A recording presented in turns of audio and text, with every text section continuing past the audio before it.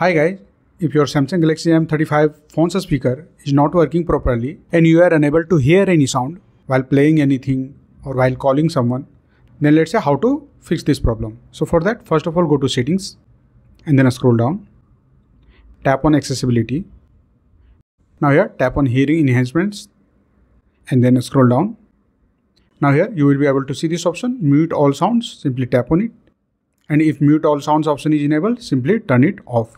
Because if this option is enabled, then all sounds on your smartphone, including calls, alerts and media will be turned off. So make sure this is off. Now one more thing you can do to fix the speaker not working problem. For that go back. Again tap on settings and then scroll down. Tap on sounds and vibration. Here tap on volume. Simply tap on it. Now here tap on this three dot icon and then tap on media volume limits. Here simply enable this option and you can increase the volume limit from here. Once you follow these two methods, a speaker not working problem on your Samsung Galaxy smartphone will be solved. So that's it guys. This is how you can easily fix a speaker not working problem on Samsung Galaxy M35. If you like this video, please subscribe the channel.